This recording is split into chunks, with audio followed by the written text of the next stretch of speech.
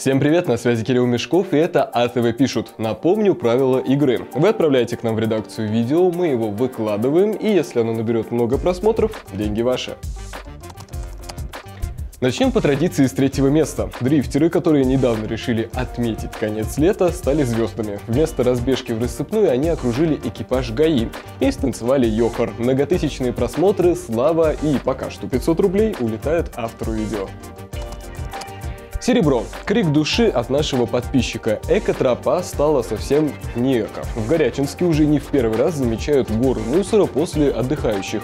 Это еще хорошо, что все это в одной куче. Представьте, что было бы, если бы весь мусор был вдоль берега. Первое место и полторы тысячи рублей. Новый тротуар в энергетике, который уложили в прошлом году, сейчас выглядит э, вот так.